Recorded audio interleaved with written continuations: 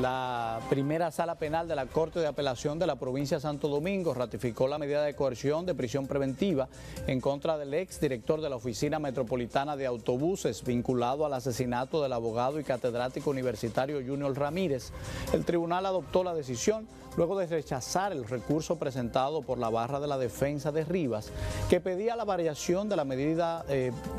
por una menos gravosa, consistente en presentación periódica, garantía económica e impedimento de salida del país. Los jueces justificaron la ratificación de la medida al considerar que no han variado los presupuestos que le dieron origen a la coerción impuesta por el Tribunal de Atención Permanente de Santo Domingo Oeste. Los abogados de Rivas sostenían que este está afectado de un cáncer de próstata.